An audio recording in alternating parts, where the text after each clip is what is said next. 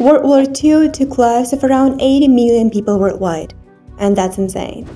But what freaks me out is that 100 million people in the 20th century died because of this.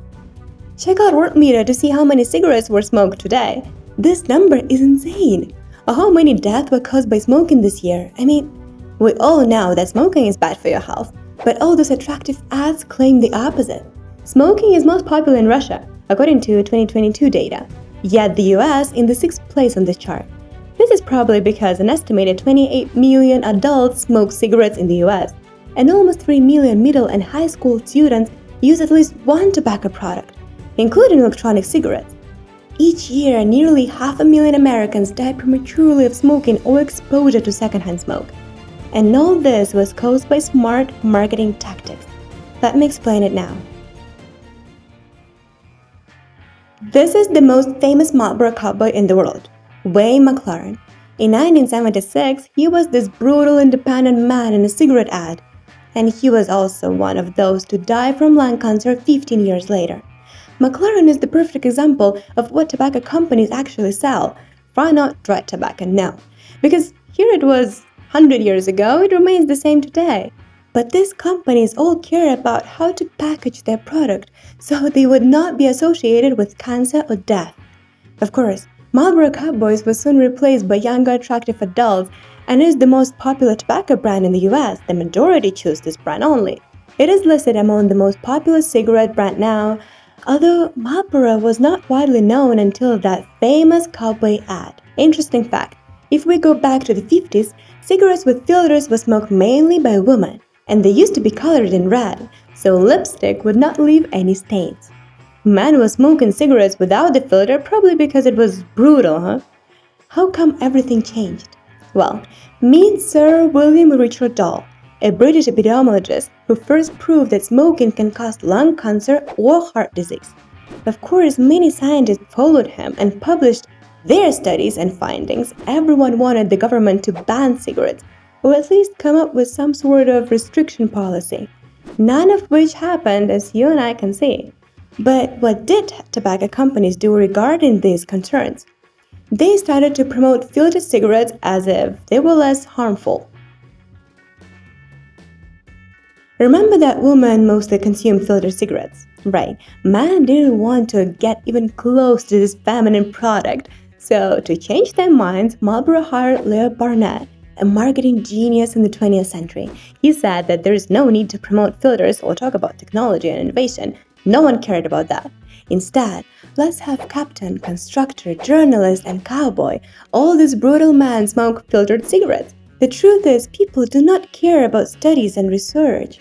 They see these seemingly healthy and attractive actors and want to have something in common with them. Cigarettes? that they can afford.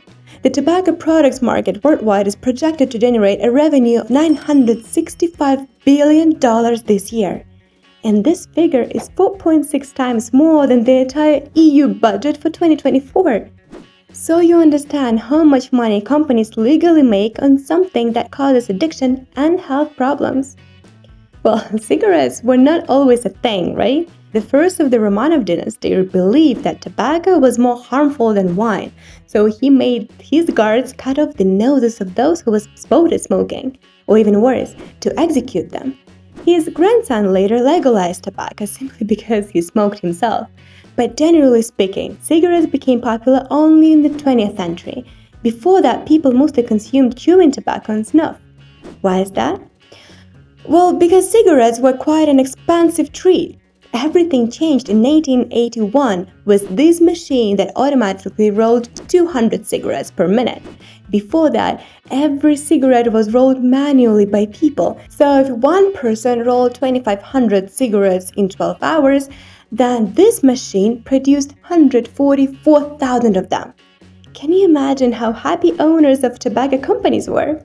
Production went crazy uphill, along with sales and profits.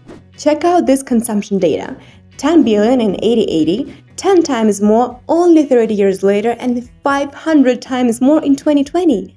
What else had such a crazy rate? I have no idea. What interesting is that words played a significant role in this. That's right, tobacco companies use military soldiers in their ads all over the US. They sent free packages to soldiers, took pictures of soldiers smoking, and then illustrated them all over the place, saying that soldiers need cigarettes to release stress and help them relax. Those companies knew that once the war was over, soldiers would come back home, but they would be addicted to cigarettes by that time, so they would be their consumers life. What's more, they would probably bring along their relatives and friends. Here's how cigarette consumption dramatically increased in the US since 1900. These figures are in billions. Marketing campaigns are insane. I mean, check out this healthy and attractive pamphlet and a slogan that says, no throat irritation, no cough. Or this one right here. It says that if you want to be fit, reach out for a Lucky Strike cigarette, not for a sweet. And you are right, why man? Well, it wasn't only them in promotions, there were surely women too. But that's not just it. What do you think of this ad? It says that over 20,000 physicians said that Luckies are better. Or what about babies and posters? Marlboro had no shame whatsoever, right? Children here claim that their dads know a good thing about smoking Marlboro brand. Let's make it clear, this video is not a promotion ad for smoking, no.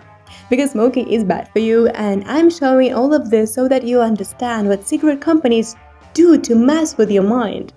All those marketing campaigns led to the year 1965, when every second man and every third woman in the US smoked cigarettes. It was about time to bring in restrictions and policies, make tobacco companies worrying about cigarette harm right on the packages, ban marketing campaigns that claim cigarettes were good for people, and stop advertising them on radio and TV. But let's be real, it didn't stop anyone. People were still smoking, yet tobacco companies had to come up with indirect marketing. What is that? Well, this man truly knows everything about this kind of marketing, as if he was racing for Marlboro, not Ferrari. Marlboro was the first non-technical sponsor for Ferrari, and then first title sponsor when in 1997 the team was renamed to Scuderia Ferrari Marlboro, which is a little crazy.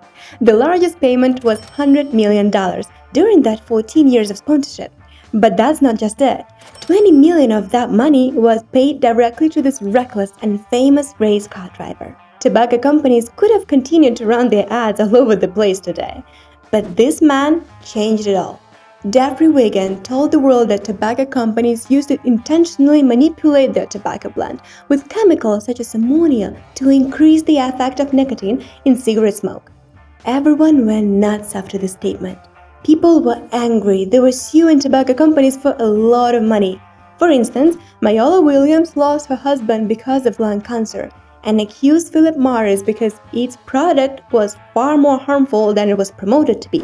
She won $155 million. But that was not just it. It was unprecedented and unheard of. The trial lasted for 10 years, and of course, everyone knew about it, and people were mad. They were mad at tobacco companies and at the government, since it didn't do anything to prevent such harm from happening. Yet again, the government had got it all. It collected taxes from cigarette sales every year and also had a huge bite from Miss Williams' win, a bite worth $99 million. This graph of cigarette consumption in the US tells us a lot. It had its boom and it's been falling since it was proven that cigarettes were causing lung cancer and tobacco companies were prohibited from advertising their products. So they had to come up with something else, something better, or at least something that could have been promoted legally. And here they are. Electronic devices of all shapes and kinds almost flood the world. The electronic devices now easy to store, promote, and consume. Let's check out some examples, shall we? Philip Morris used to have declining gross profits from 2013 to 2017, when this graph started getting back on its feet. Clearly, something good happened here. This was the year Philip Morris started to promote its heated tobacco products. They accounted for a third of total net revenues in 2022, and it kept on growing. Do you want to know why Philip Morris is highly interested in IQOS? Let's be real, it's much more profitable to the company because also roughly 30 to 50% higher than the margins for traditional cigarettes. The company is now focused on reducing its revenue from cigarettes. So that's clear, IQOS is no better than cigarettes because it's still all about tobacco and the chemicals released in the aerosol from a IQOS device are the same cancer-causing substances found in cigarettes and electronic cigarettes. So it's all bad for you anyway. Despite those ads and slogans that claim you can feel the power of amazing, because there's nothing so good about it. Remember Marlboro Cowboy, Wayne McLaren, who died because of lung cancer? Here's his brother who reveals the truth behind sneaky marketing campaigns. I used to love cigarette ads. The cowboy on his horse, rugged, independent. It was beautiful. Then the cowboy died, got lung cancer from smoking. His name was Wayne McLaren, and he was my brother. I'm Mac McLaren. The tobacco industry used my brother in ads to create an image that smoking makes you independent. Don't believe it. Lying there with all those tubes in you? How independent can you really be?